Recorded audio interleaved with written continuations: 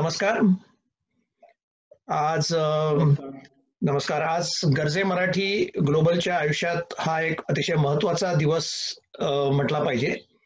आपल्या सगळ्यांना सुपरिचित असलेले आणि ज्यांनी आपल्या लोकसेवेनी ॲज वेल एज आपल्या सायन्स म्हणजे त्यांचं जे मेन फील्ड आहे मेडिकल मेडिसिनच्या फील्डनी अनेक लोकांवरती उपकार केलेत आणि अनेक लोकांना अडीअडचणीतनं बाहेर काढलंय.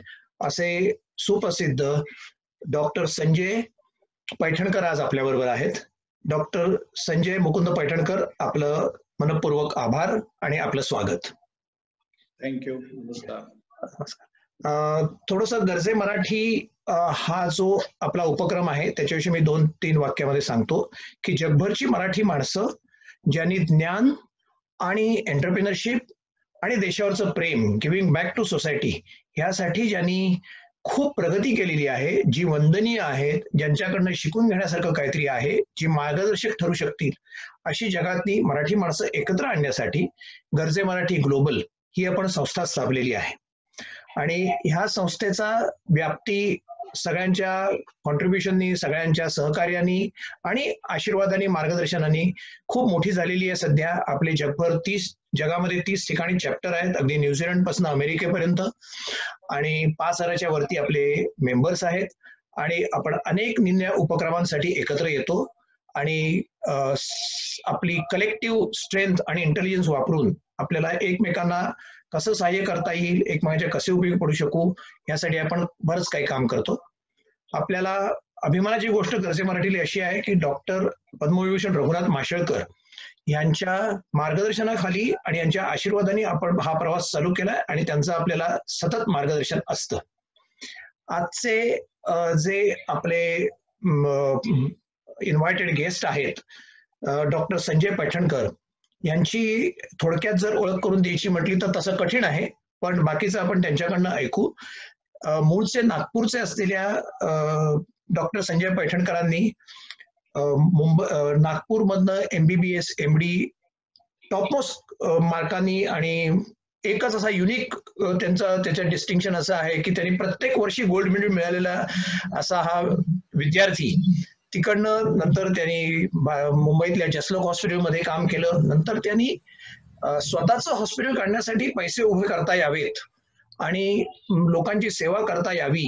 ह्यासाठी त्यांनी आखाती देशामध्ये नोकरी करायचा निर्णय घेतला. आणि हा निर्णय खरोखरच अनेक लोकांच्या आयुष्यामध्ये फरक पडून देण्यासारखा झाला. कारण काय ते जेव्हा आखा देशात आले तेव्हा त्यांना असं जाणवलं की इथे सुद्धा आपल्या भारतीय लोकांना खूप गरज आहे. आणि त्यांनी तिथे कुठल्याही बिझनेस मॅनेजमेंट किंवा आता जी एम बी ए करणाऱ्या लोकांना ज्यातनं शिकता येईल अशी त्यांनी एक अतिशय आकर्षक अशी money earning as well as philanthropy याची सांगड घालून त्यांनी तिथे जी गेली तीस पस्तीस वर्ष अविरत ते मेहनत करतायत. त्यांच्या त्या त्यांच्या प्रवासाविषयी आणि त्यातनं आपल्याला शिकण्यासारखं काय आहे हे समजून घेण्यासाठी आपण डॉक्टर संजय पैठणकर यांच्याबरोबर आजचा वार्तालाप करणार आहोत. सर पहिल्यांदा तुम्ही जे आयुष्यभर जगाची सेवा केली गोरगरिबांना आणि ज्यांना खरोखर गरज आहे अशा लोकांच्या उपयोगी पडलात. ह्याबद्दल तुमचे अभिनंदन मनपूर्वक आभार आणि या सगळ्यांच्या वतीने मी तुमचे आभार मानतोय की असे अनेक लोक आहेत मी त्या गोष्टी पण वाचलेल्या आहेत की ज्यांना असं वाटलं होतं की ह्या आजारामध्ये मी इथे उद्ध्वस्त होईन हेच नव्हे तर मी इथे जर उद्ध्वस्त झालो तर माझी घरातलं भारतातलं महाराष्ट्रातलं माझं घरदार उद्ध्वस्त होईल अशा अनेक लोकांना तुम्ही आधार दिलाय. सो आपल्या तुमच्या वाटचाल जाणून घ्यायची आम्हाला सगळ्यांना इच्छा आहे. तर कुठल्याही माणसाच्या यशाला त्याच्या पाठी त्याचं बालपण हे निश्चित अवलंबून असतं. तर सर तुम्ही तुमचं लहानपण आणि तुमच्या घराची म्हणजे तुम्हाला घरातनं कसा सपोर्ट मिळाला आणि काय तुम्ही त्यांच्यातनं शिकलात हे सांगू शकाल का? नमस्कार. मी बेसिकली नागपूरचा माझे वडील head of department of pathology होते. आणि त्यांची अशी इच्छा होती की मी मेडिकल लाईन मध्ये न जावं. कारण की तेव्हा नाईन्टीन एटीजमध्ये दोनच पर्याय होते आमच्यासाठी. एक तर मेडिकल किंवा इंजिनिअरिंग आणि कम्प्युटर नवीनच आलं होतं. पण मेडिकल लाईन मध्ये प्रॉब्लेम असा होता की एज म्हणजे time required for graduation post graduation super speciality हे सगळं दहा वर्ष लागायचं. So by the time the person will settle will be around age of म्हणजे he will start earning at the age of thirty two exactly इंजिनिअरिंगमध्ये माझे जे मित्र होते त्यांनी बारावी नंतर इंजिनिअरिंग केलं. त्यांनी अठरा चार वर्षाचं इंजिनिअरिंग बावीस तेविसाव्या वर्षी त्यांना नोकऱ्या लागल्या. आणि being coming from an middle class family where my म्हणजे वडील माझे जे मेडिकल टीचर होते आणि तेव्हा त्या काळामध्ये गव्हर्नमेंट सर्वंट मेडिकल टीचरला फारच कमी पगार होता. म्हणजे I remember my father's nineteen eighty one मधला लास्ट ड्रॉन सॅलरी वॉज पाच हजार रुपये. He wanted me to go to engineering पण there was a turning point in my life म्हणजे पहिलेपासून डिटर्मिनेशन होतं की मेडिकलला जायचं पण अकरावीच्या माझ्या उन्हाळ्याच्या सुट्टीमध्ये माझी आत्या आली होती नागपूरला. अँड सुट्टी झाल्यानंतर तिला काही त्रास नसताना within a fraction of a second she died because of cardiac arrest that was a shocking in my life की माझ्या डोळ्यासमोर पस्तीस वर्षाची माझी अत्याशी dies because of something which we can not do मी होतो घरी वडील होते पण unfortunately we could not save the life and that was a major shock which determine म्हणजे शिक्का मोर्तब झाला की नाही मी मेडिकलमध्ये जाणार आणि तेही कार्डिओलॉजिस्ट करणार. कारण की अननोन रिझन्समध्ये हे जे डेथ्स होतात it is it is creating a havoc in the family so तेव्हा मी डिसाईड केलं की काही केलं तरी मी मेडिकलला जाणार. आणि झालं असं की मला इंजिनिअरिंगला ऍडमिशन मिळाली. मी ती ऍडमिशन एक्सटेंड करून घेतली तीन दिवस कारण की मेडिकलचे रिझल्ट मेडिकलच्या सीट्स अनाऊन्स नव्हत्या झाल्या. सो एव्हरीबडी वॉज शॉक की हा मुलगा असा का करतोय की इंजिनिअरिंग सोडून मेडिकलला चाललाय. But I join medical that was a great turning point and I don't regret. That definitely. Uh, that was uh, your that decision turned out to be blessing for many. Uh, तुम्ही युए मध्ये आल्यानंतर माणसं middle ईस्टला normally जायचे म्हणजे आमच्या लहानपणी सुद्धा एटीजमध्ये जायचे ते पटकन पैसा मिळवायचा आणि हे मेन ध्येय असायचं असं असताना तुम्ही युए मध्ये आल्यावरती नोकरीतनं जो फिक्स्ड इन्कम जे असू शकतं की माणूस कॅल्क्युलेशन करून येतो की मला पाच रुपये मिळतील चार वाचवीन आणि घरी नेईन हे असताना तुम्ही मग स्वतःच ओन क्लिनिक काढायचं आणि लोकांची सेवासाठी ते वाहून घ्यायचं हा निर्णय तुम्ही कसा घेतला?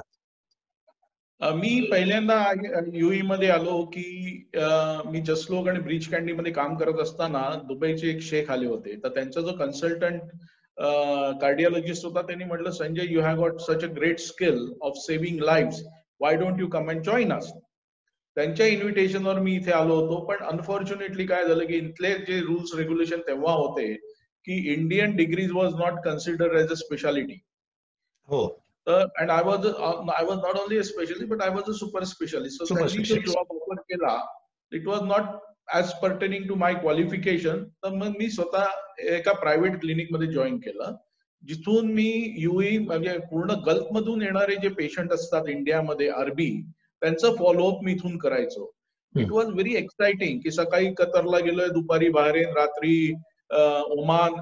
पण I was not doing substantial work so then I decided की नाही आता आणि प्रायव्हेटमध्ये भरपूर पैसा मिळायचा तेव्हा. पण आय डिसाइडेड की नाही I am not able to do something for my fellow Indians म्हणून मी इथल्या गव्हर्नमेंट सर्व्हिसमध्ये जॉईन केलं. आणि गव्हर्नमेंट सर्व्हिसमध्ये ह्याच्यासाठी जॉईन केलं की इथल्या लोकांची सेवा करता येईल. बेसिकली उद्देश हाच होता की थोडे दिवस इथे पैसे कमवून एक दहा लाख जर जमले तर मी नागपूरला जाऊन स्वतःचं हॉस्पिटल सुरू केलं पण इथे आल्यानंतर कळलं की बाई म्हणजे इंडियामध्ये there are hundred of doctors who can help my fellow colleagues my fellow countryman पण इथे अशी कोणतीच संस्था नाहीये किंवा अशी कोणतीच डॉक्टर नाही कारण everybody who was coming to Gulf was total money oriented तर मग मी विचार केला की आणि हॉस्पिटलमध्ये काम करताना मला एकदा जाणवलं की एक पेशंट आला माझ्याकडे. पाकिस्तानी पेशंट होता पस्तीस वर्षाचा. तो तीन दिवसापासून त्याला छातीत दुखत होतो. आणि तीन दिवसानंतर तो आला आणि मी त्याला विचारलं बाबा तीन दिवस झाले तुला छातीत दुखतोय. तू तीन दिवस काय करत होता? तर त्यांनी मला सांगितलं सर म्हणे की आम्ही लेबर कॅम्पमध्ये राहतो आणि गल्फ मधले जे लेबर कॅम्प असतात they are outside the city limits तिथे अप्रोचेबल रोड्स नव्हते. नाईन्टीन नाईन्टी थ्री ची गोष्ट सांगतोय मी हो. तर तो म्हणे तीन दिवस झाले मला छातीत दुखत आहे मला गाडी नाहीये आणि मला यायची काही व्यवस्था नव्हती पैसेही नव्हते. म्हटलं म्हटलं काय केलं तू? तर म्हणे थंड पाणी पीत माझं छातीचं ज्या कळ्या होत्या त्या मी दाबून ठेवल्या. आणि जेव्हा मी त्याला तपासलं त्याला हार्ट अटॅक आलेला होता. तर त्याला मी ऍडमिट केलं. पेशंट ठीकही झाला पाकिस्तानी. मग त्याला म्हटलं मी तू परत जेव्हा जाशील मला तुझं घर दाखव. म्हणजे मला कळेल की तुम्ही राहता कुठे. यू विल बी सरप्राईज मी जेव्हा तिथे गेलो माझी इव्हन फोर व्हील ड्राईव्ह जायला म्हणजे it was like area no roads जिथे फोर व्हील ड्राईव्ह पोचत नव्हती. तर मग मी विचार केला की अरे हे असे गरीब लोक आहेत जिथे राहतात हजारो लाखोनी. त्यांच्याकडे काहीच नाहीये. म्हणजे त्यांच्याकडे ना मीन्स ऑफ ट्रान्सपोर्ट आहे ना मीन्स ऑफ एनी क्लिनिक जवळ आहे किंवा त्यांना any means of money is there तर मग मी विचार केला की नाही ह्यांच्यासाठी आपण काही करायला पाहिजे. म्हणून मी गव्हर्नमेंट सर्व्हिसमध्ये रिटायर रिझिग्नेशन दिलं. तेव्हा सगळे लोक हसले की अरे म्हणे तू काय महाराष्ट्रीयन माणूस आहे? इथे महाराष्ट्रीयन लोक येतात तर त्यांचं एकच ध्येय असतं की गव्हर्नमेंट सर्व्हिस करायची. म्हणजे it's a long term secured job तर म्हटलं मला तसं करायचं नाहीये. मला लोकांची सेवा करायची आहे. तर म्हणे पैसे नाही मिळणार. म्हटलं ठीक आहे पैसे नाही मिळाले पण शेवटी मला ब्लेसिंग्स तरी मिळतील. तर ह्या दृष्टीने मी पहिलं माझं क्लिनिक नाईन्टीन नाईन्टी थ्री मध्ये अजमानला सुरू केलं जिथे आम्ही दहा दिरममध्ये पेशंट पाहायचो. त्या दिवसात आनंद युज मी सरप्राईज की इथे इंडियाचे मेडिसिन किलोनी मिळायचे. आता नाहीये आता सगळं बंद झालंय. तर आम्ही किलो किलोनी इंडियन मेडिसिन घ्यायचो आणि या गरिबांना दहा दिरममध्ये इन्क्लुडिंग कन्सल्टेशन मेडिसिन इंजेक्शन सगळं द्यायचो आणि ह्या ही जी दहा दिरम होते that was a big amount for those poor people nineteen ninety three मध्ये. पण तरी मी चालू केलं त्याच्यामध्ये मला कधी कधी नुकसानही व्हायचं. पण the satisfaction I was getting in treating people त्यामुळे काय झालं की जेव्हा अजमानमध्ये सुरू केलं की आमची प्रसिद्धी तीन महिन्यामध्ये एवढी झाली की मला शंभरच्या वर पेशंट यायला लागले. आणि it was impossible for me to see all the patient म्हणून मग मी पहिलं क्लिनिक इस्टॅब्लिश केलं जिथे मी डॉक्टर अपॉइंट केला की जो पेशंटही पाहिल आणि आय कॅन ग्रो पण over a period of time as Dubai started expanding आम्हाला दूर दूरून लोक यायचे. म्हणजे पन्नास किलोमीटर शंभर किलोमीटरहून की see the trust they had की सनैया ग्रुपमध्ये गेलं की दहा दिनांमध्ये आम्ही पूर्ण ठीक होऊन जाऊ. So that trust brought us into the limelight आणि ते लोक म्हणायला लागले की सर आमचे इथे लेबर कॅम्प्स आहेत इथे आम्ही पाचशे लोक राहतो आम्ही दहा हजार लोक राहतो आम्ही दहा हजार राहतो. Why don't you open the clinics and that gave me an sort of stimulus की नाही आपण एकाच ठिकाणी राहून म्हणजे my idea was very simple to provide them with a quality care at affordable cost and then doorsteps म्हणजे जिथे राहतात या. इथे कारण की transportation cost is so much म्हणजे त्या दिवसांमध्ये त्या transportation cost of going to the clinic and coming back was more than the treatment cost what I was giving that so to cut down on that मी जिथे हे वसाईत म्हणजे labour camps आहेत त्या labour camps मध्येच clinic सुरू केले. तर ह्या लेबर कॅम्प्समध्ये मी स्वतः जायचो दिवसातून वेगळ्या वेगळ्या म्हणजे तासांना जायचो की भाई यांची डिमांड काय आहे काय रिक्वायरमेंट आहे कुठे असतात आणि आफ्टर स्टँडिंग द प्रोजेक्ट म्हणजे I did not employ any anybody I did not trust anybody but to be very frank today also I don't trust my shadow also that is a way तर मी स्वतः study करून कारण की भांडवल म्हणजे काय? माझी कमवलेली जी पुंजी होती छोटीशी तीच घालून मी पुढे जायचो. की my my principle in life has been not to borrow even one dirham from anybody not from the bank also तर माझं जे सेव्हिंग राहायचं तेच मी दुसऱ्या क्लिनिकमध्ये टाकायचो. तर एका वर्षामध्ये मी एका वर्षात एका क्लिनिकच्या वर कधी ओपन नाही केले. मॅक्सिमम दोन किंवा तीन.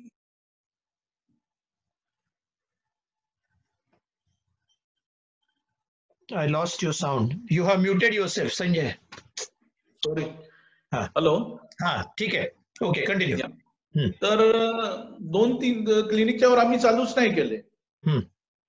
आणि त्याचं त्याच्यामध्ये it was all our it was my hard earn money invested and I could not afford to wait for the returns म्हणजे सहा महिन्याच्या वर जर क्लिनिक चाललं नाही तर मी पुढेच खात्यात जाईल.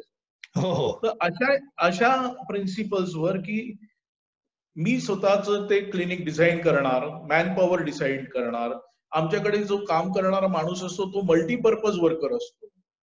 त्यामुळे आमचं कॉस्ट सेव्हिंग होतं. म्हणजे माझा driver is basically a lab technician किंवा my driver is basically a receptionist किंवा my driver is basically a radiographer म्हणजे तो डॉक्टर्सला नर्सेसला क्लिनिकला घेऊन जातो आणि मग तिथे he does a radiographer so I reduce the salary of two and another thing which I implemented was every person who works with me is a is a business partner with me. They share my profits. Profits. Whether it is my receptionist, whether it is my pharmacist, whether it is my assistant pharmacist, whether doctors. झालं काय माहितीये का की to get people to work in areas where poor people stay it was very difficult so I had to attract people who are not only म्हणजे doctors specially who are not only good doctors but they have to be also good human beings and getting a combination of a good doctor who is also a good human being was a bit difficult. But irony. What I yeah, so what I devised was ki theek hai, everybody wants money. So you be a partner into my business. The more the business grows, you also grow. Okay. So you will be surprised. पस्तीस वर्षामध्ये माझ्याकडे resignation is practically zero so I grow they grow it's very simple formula आणि आता आमचे as I said अठ्ठावन्न medical establishment आहेत. सहाशे पन्नास लोक माझ्याकडे कामाला आहेत. आणि I today also I don't have a single clinic in areas where people have money all my clinics are in areas where absolutely lowest income group of the Gulf that is my ambition practically तुमचा हा जो प्रवास आहे हा कुठल्याही मॅनेजमेंटच्या कॉलेजला किंवा मॅनेजमेंट स्कूलला त्यांचा थिसिस सब्जेक्ट म्हणून घ्यायला हरकत नाहीये असा तुम्ही प्रवास हा जो केलेला आहे. आणि खरोखरच म्हणजे ही जी दूरदृष्टी आहे ती ती वाखाणण्यासारखी आहे त्यातनं शिकण्यासारखं आहे. कारण काय? दहा दिराम ही अमाऊंट ठरवायची की ज्यात औषधही द्यायची आणि म्हणजे वरती आपलं घर पण चालवायचं आपल्या स्टाफचं पण घर चालवायचं is very it requires a good planning आणि आता तुम्ही जे सांगितलं की एक माणूस आपण मल्टीपर्पज वापरू शकतो that's a big management management decision and going ahead sir तुम्हाला बऱ्याच ठिकाणी मी असं वाटलंय की बिझनेसमन ह्युमन बिंग आणि हिलर किंवा देवदूत ही जी तुम्ही तीन ऍक्च्युली म्हणजे तसं म्हटलं तर इंटरकनेक्टेड पण तसं म्हटलं तर एकमेकांना एकमेकांपासून दूर घेतणारी अशा ही तीन हे आहेत अक्ष आहेत.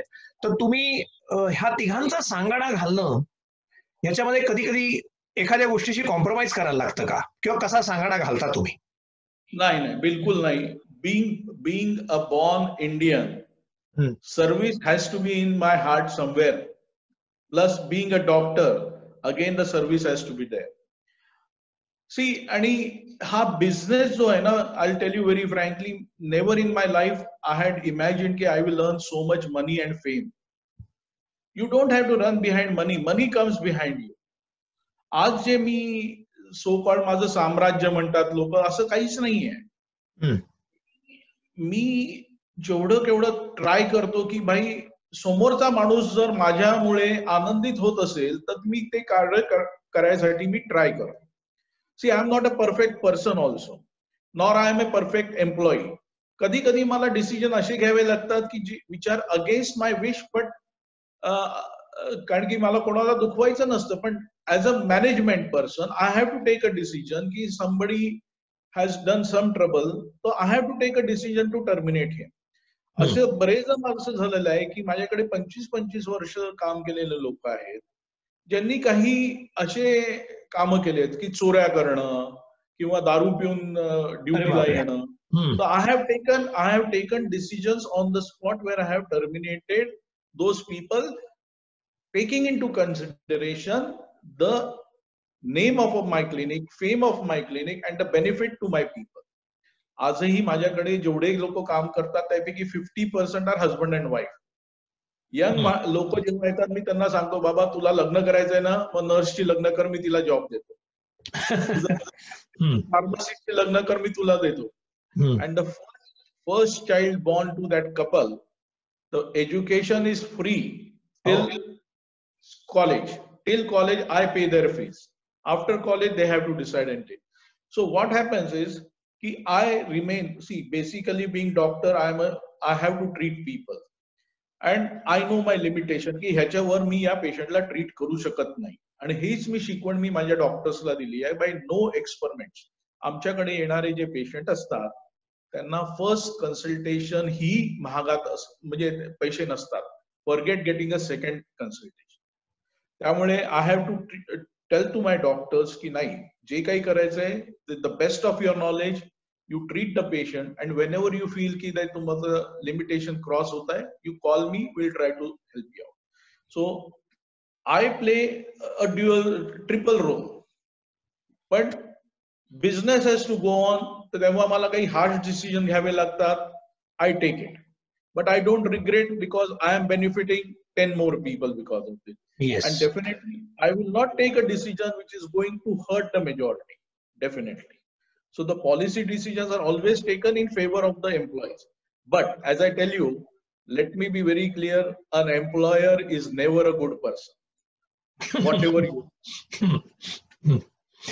तुम्ही राईट हेल्थ आणि दुसरी एक तुम्ही जी कल्पना जी ही केली की ग्रुप इन्शुरन्स हे म्हणजे ही कल्पना तशी नवीनच म्हटली पाहिजे तर तुम्ही how did you think of these two things म्हणजे आता राईट हेल्थ हे तुमचं आता नवीन व्हेंचर आहे माझ्या मते. Am I right to say nineteen seventeen मध्ये टू थाउजंड सेव्हन्टीन मध्ये काय झालं की तेव्हा माझे पस्तीस क्लिनिक्स होते. आणि I wanted to expand to few more areas because Dubai has become a very big place now. And things were out of my reach. So what I did was like-minded people who are there in ethical practice hmm. and growth. अशा लोकांच्या ग्रुपला मी join केलं I am the CEO managing director exactly अजून clinics acquire केले जे who are into the like-minded areas of labor camps. And that's how we grew from 30, 34 to 58. Basic right health is very simple, is to be the pioneer in providing primary health care to the people at an affordable cost at a what we call is the value health care. Value health care. So we are treating only the base of the pyramid. We are not opening anything for above the pyramid. तर हा जो concept आहे ह्याचा group इन्शुरन्सचा काय झालं की आमचा जो पूर्ण बिझनेस एथिक्स आहे किंवा बिझनेस प्रिन्सिपल आहे you can say is based on volume if volume falls we cannot survive so to keep the volume up we started offering insurance to people in groups large groups आता तुमच्याकडे जर हजार लोक असतील तर हजार into पाचशे दिरम ह्याच्यामध्ये मी तुम्हाला in patient out patient bypass surgery everything I can give you पाचशे दिरम म्हणजे दहा हजार रुपयामध्ये वर्षाला. तुम्हाला ओपीडी सर्व्हिसेस तुमचे डायबिटिक हायपरटेन्शन सगळी treatment any surgery also repatriation of the bodies back to India हे सगळं आम्ही कव्हर करतो त्याच्यामध्ये. This was a concept which I had given to Maharashtra government also but unfortunately they had other things to do they could not implemented पण इथे आम्ही साडेतीनशे दिरमपासून सुरू केलेलं म्हणजे सात हजार रुपयापासून ते सुरू केलेलं आता मी पाचशे दिरममध्ये ते करतो and now this is being the norms of the insurance mandatory insurance in Dubai आज दुबईला जे मॅन्डेटरी इन्शुरन्स गव्हर्नमेंटनी केलेला आहे त्याचीही फीस पाचशे पंचवीस दिरम ठेवलेली आहे And this I had started way back in 2008. so we maintain the volume. Instead of waiting for the patient coming to my clinic and paying the money, we get the money from you in advance and we insure your uh, health. So that was the basic concept. So the company so, pays the insurance. Company pays for the insurance. Yes. Company pays for the त्यामुळे काय झालं की जे recession आले दोन हजार आठ दोन हजार अकरा आणि आत्ताचं we were never affected. In fact, our business went up like anything, especially COVID. COVID, hmm. our business went up by 30%. म्हणजे पीपल बाकी क्लिनिक्स हॉस्पिटलमध्ये लोकांनी डॉक्टर्सला काढून टाकलं. आमचं रिक्रुटमेंट एवढं झालं की आम्ही तीन हजार पेशंट पर डे पासून we reach up to four thousand five hundred patient per day actually तुमच्या कोविडचं तुम्ही कसं वॉर लढलात हे मला पुढल्या प्रश्नात विचारायचं आहे पण त्याच्यात एक आता तुमची बोलताना मला असं मनात आलं हे तुमचं बिझनेस मॉडेल आहे आणि हे I am sorry to use word business model सेवाच आहे ती.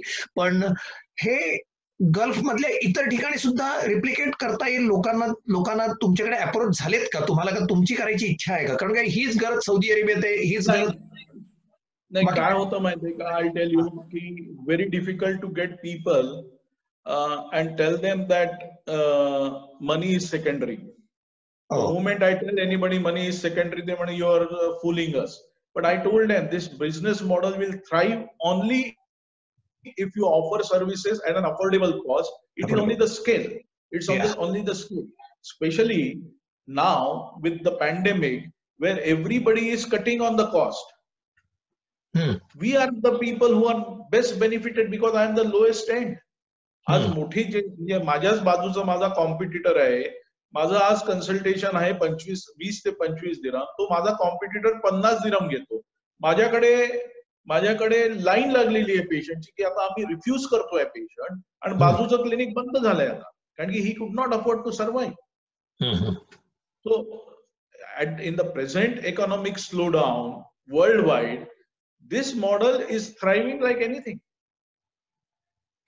I don't have to I don't have to run behind people to get me the money no our business is enough to survive our self वा great great मग तुम्ही ही कोविडमध्ये हा म्हणजे फक्त पेशंट जास्त होणं हा एक म्हणजे वर्कलोड वाढलं कबूल आहे पण हा एकूणच तुमचा कोविडचा फर्स्ट हँड एक्सपिरियन्स की हाऊ डिड यू मॅनेज कारण इट्स अ मॅसिव्ह पॅन्डेमिक जग सफर करतंय. अनेक जगातल्या डॉक्टरनी आपले हात गाळून टाकलेत की हाऊ विल आय मॅनेज मला स्वतःची काळजी घेऊ का पेशंटची काळजी घेऊ?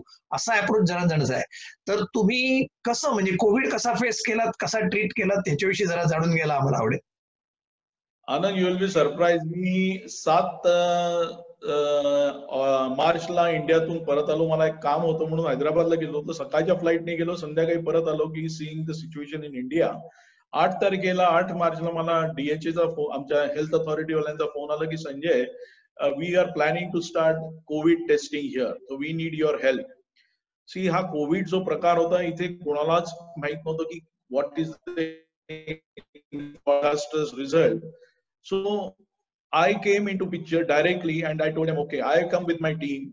आणि त्यांनी टेंट उभे केले होते की ज्यांचं कोविड टेस्टिंग करायसाठी फ्री गव्हर्नमेंट कडनं टेस्टिंग आम्ही I had a team of only five people visiting this tents in remote areas of Dubai जिथे चार चार पाच पाच हजार पेशंट मला स्क्रीनिंग करावे लागायचे. मी एकटा स्क्रीनिंग करायचे होते हो. त्यापैकी हा त्यापैकी पेशंट सिलेक्ट करायचो की बाई he is at high risk किंवा हा सिमटमॅटिक आहे त्यांना बाहेर काढायचो कारण की आमच्याकडे लिमिटेड नंबर ऑफ टेस्ट होता तेव्हा इनिशियली मार्च मध्ये मला दोनशे टेस्ट करायची कॅपॅसिटी होती पर डे तेव्हा. तर चार हजार पैकी मला सिलेक्ट करून आम्ही दोनशे पेशंट बाहेर काढायचो त्यांचं टेस्टिंग करायचो. मग दुसऱ्या दिवशी परत चार हजार पेशंट पाहून त्याची टेस्ट करायचो. But then we went up like this till end of May आणि we used to do up to 1000 tests per day helping Wow. the government. Yeah. आणि नॉट ओनली दिस मग शेवटी काय झालं की इतके पेशंट वाढणं सुरू झालं तर आम्ही गव्हर्नमेंटला रिक्वेस्ट केली की बाई I can not cope up I will help through my clinics तर आम्ही काय केलं की आमच्या क्लिनिकमध्ये सोशल डिस्टन्सिंग मेंटेन करण्यासाठी फक्त दहा पेशंटला एंटर करू द्यायचं एका वेळेस बाकीचे जे शंभर पेशंट राहायचे त्यांच्यासाठी आम्ही बाहेर टेंट लावले. हो. एसी लावले टेंट्समध्ये. म्हणजे लग्नाचे जसे मंडप घातले तसे आम्ही मंडप घालून त्यांना टेंटमध्ये बसवायचो आणि द फ्लो ऑफ पेशंट तर युल बी सरप्राईज की आम्ही दिवसाला instead of doing screening for four thousand we reach up to ten thousand patients per day only on screening only on screening आणि त्यापैकी जवळजवळ हजार लोकांचं आम्ही टेस्टिंग करायचो. So we we are helping the government totally free of cost tents घालून तिथे आमचे डॉक्टर्स क्लिनिकमध्ये बसायचे. आणि पेशंट कारण की इथे गर्मी खूप सुरू झाली होती जून जुलै मध्ये. वी यूज टू आज we have tents where they will be comfortably sitting we use to follow the norms of the government of social distancing आणि मग एक एक फिल्टर करून वर द्यायचो आणि जो सिरियस राहायचा त्याला फक्त हॉस्पिटलमध्ये पाठवायचं. So we help the government in such a way that they were no over burden with the patient coming to the hospitals so basic clearance was given in the GP level it's.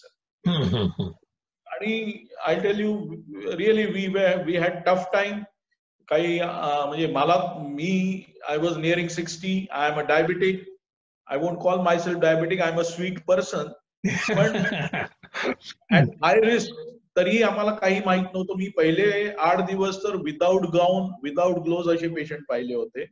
कारण की आम्हाला काहीच कल्पना नव्हती. पण then as we started learning from the international news की काय करायचंय then we started taking precaution you will be surprise माझे सहाशे साडेसहाशे स्टाफ पैकी sixty three were positive and only two were admitted to the hospital so we could cover everything very well so this is this is a great experience at the same time हे प्रत्येक तुमची गोष्ट ही एक actually business model सारखं एक education model होऊ शकतं. म्हणजे the way in which you conducted this program this can be replicated but let's hope की कोविडच संपेल कोविडच संपेल.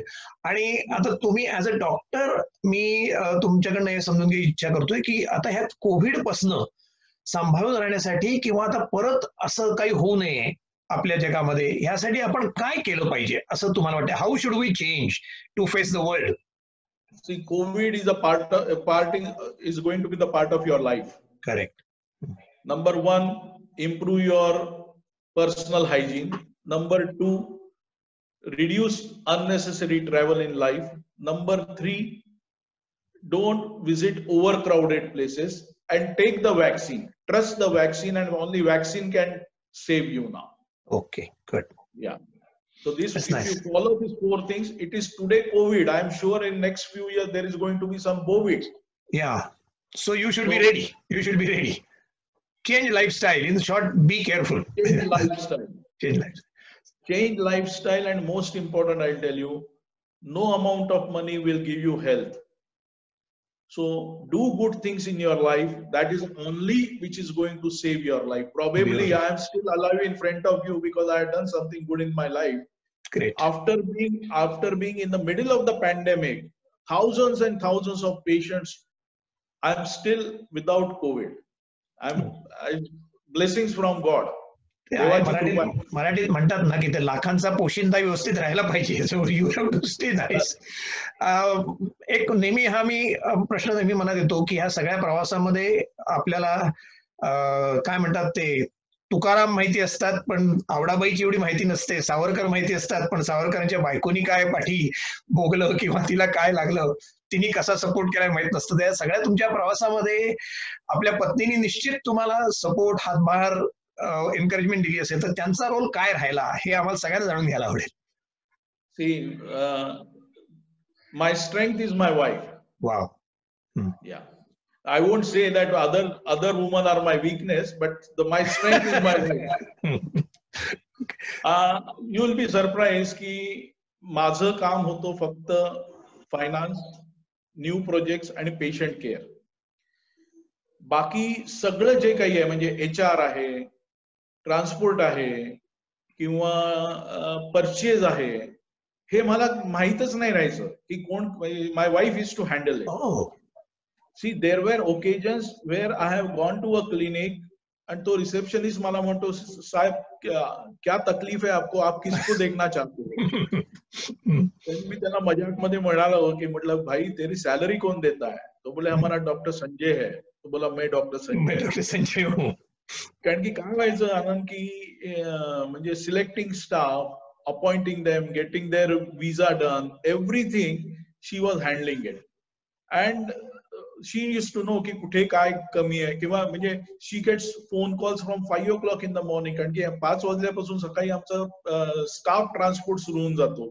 तर कुठे गाडी खराब झाली की तिला कॉल यायचा कुठे. कोणी सिक झालं की तिला कॉल यायचा कारण की I use to tell my staff की if it is requirement for a patient twenty four by seven call me don't call me की दॅट माझ्या पोटात दुखत आहे म्हणून सर मी आज येत नाही कारण की I must be sitting with some director in the health authority discussing something so all this all this basic day to day headaches were handled by my wife आता अशी सवय झाली आहे मला की आय डोंट नो म्हणजे what is happening on the background I just see the patient care finance and growth and that has help us a lot to reach up to this level beautiful so management नेपथ्य backstage सगळं तुम्हाला डोक्याला त्रास नाहीये म्हणून तुम्हाला जे तुमचं कोर आहे त्याच्यावरती तुम्हाला कॉन्सन्ट्रेट करता येतं. So I we all must thank her and congratulate her for doing this great work just a last question सगळं झालं बिन देअर डन दॅट खूप केलं मनासारखं. लोकांची सेवा करायची होती ती केली पैसे मिळवले यश पाहिलं. आता करायचं काय राहिलंय असं वाटतंय तुम्हाला? I'm I, have done 50% of the job. I want to search this uh, type of thing, replicate this model into other Gulf countries. Gulf मध्ये प्रत्येक जण वाटतं की ही uh, म्हणजे it's a golden world no it is not a golden world things are very different here आणि if I आणि जे मी पाहिलेलं आहे की uh, हे जे लोअर सॅलरीड पीपल त्यांचे जे हार्डशिप्स आहेत if I can relieve their hardship on health way कारण की अनफॉर्च्युनेटली आमच्या प्रोफेशनमध्ये एक्सप्लॉयटेशन खूप जास्ती झालेलं आहे. फार झालेलं आहे. तर if I can if I can give quality health care to my fellow Indians किंवा fellow workers I will be great and त्यामुळे we are planning to open in Saudi Arabia then Oman Qatar आता आजच declare झालंय कतरची friendship झाली आता. हो हो.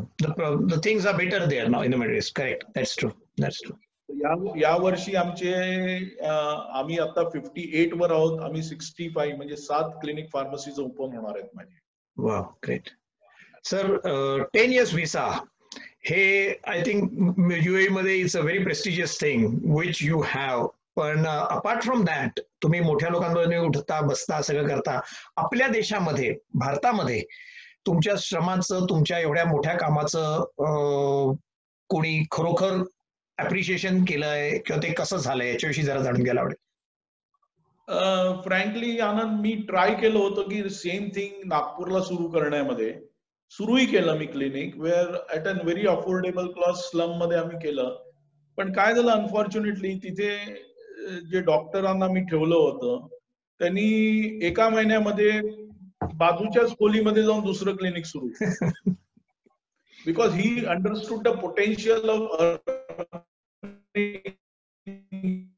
their and I cannot be a training ground to my friends in India कि भाई तुम्हारा जो ट्रेन कर लो और बाजू में बिझनेस चालू बिझनेस चालू so I drop that idea I drop that idea आणि मग मी गव्हर्नमेंट ऑफ महाराष्ट्राला जे प्रपोजल दिलं होतं की पाच हजार इन्क्लुडिंग बायपास सर्जरीचं it didn't work but it didn't work कारण की तिथे काय आहे की lot of loop holes are there then there things cut practice sorry commissions and all. I said I don't believe in those things. Yeah, but definitely, definitely there is a scope in India also. People are doing it. पण unfortunately काय की इथे आम्हाला इथे तीस वर्ष राहिल्यानंतर मला हे करप्शनची वगैरे बिलकुलच सवय नाही सवय नाहीये सवय नाही आणि आता तिथे तुम्हाला अनलिमिटेड काम अजून शिल्लक आहे. असं नाही की अनलिमिटेड सो मी नेहमी म्हणतो मी एक आय टेल यू की ज़िंदगी की उड़ान अभी बाकी है हमारे इरादों की इम्तिहान अभी बाकी है। बाकी है। अभी तो नापी है मुट्ठी भर जमी मैंने अभी तो सारा आसमान बाकी है। वाह। या तुमचा दुर्दम्य आशावाद आणि तुमची सेवाभावी जी मनापासून लोकांना मदत करायची ऍज वेल ऍज सस्टेनेबल सेवा व्हावी. म्हणजे मी लोकांना मदत करायची म्हणून लोकांकडनं मी मदत मागायची. असं नाहीये असं नाहीये. सो हे आज खरोखर ऐकून आणि तुमचा प्रवास ऐकून आनंद झाला. ऍक्च्युली मला यातल्या बऱ्याचशा गोष्टी माहिती होत्या. आमच्या घरचे मराठीच्या सगळ्या लोकांना तुमच्या ह्या प्रवासाविषयी माहिती होऊन इन्स्पायरिंग गोष्टी कळाव्यात. ह्यासाठी आजच्या मुलाखतीचा हेतू होता. सर तुम्ही आलात. आमच्या बरोबर हा वेळ दिलात. बरोबर तुमच्या बरोबर काम करणारे जवळजवळ वीस पंचवीस लोक हे सगळे ऐकतायत. त्यांचं प्रेम आणि त्यांचं तुमच्याविषयी असलेला आदर त्यातनं निश्चित व्यक्त होतोय. तुम्ही आलात आमच्याविषयी बोललात याविषयी सर तुमचा अतिशय आभारी आहे.